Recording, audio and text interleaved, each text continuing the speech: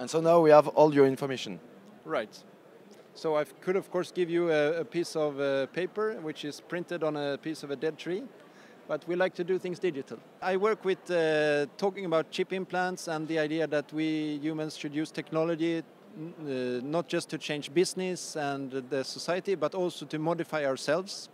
So one thing I'm doing a lot with is chip implants, and uh, we are using chip implants to replace keys, uh, magnetic cards, and to use it pretty much as a key to, to our own personal Internet of Things.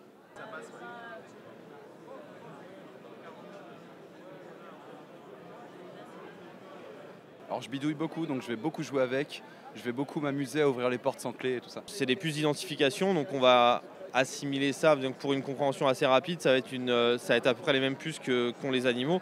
Donc vraiment, ça va être euh, des puces pour se faire reconnaître, un petit peu comme un badge, comme un pass euh, d'immeuble ou un truc comme ça, sur différents devices. It's uh, right here, between the thumb and forefinger of my left hand. You can see it sits there.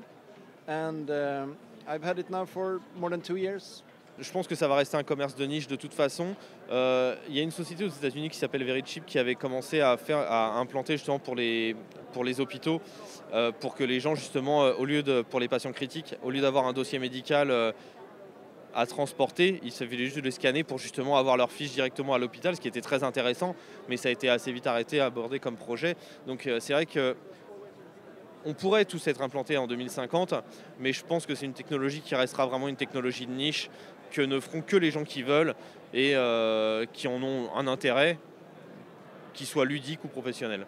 I definitely think that this is a technology for the future, mainly for the reason that it eliminates a lot of problems that people have, uh, especially forgetting their keys or forgetting the bank card or forgetting the metro card.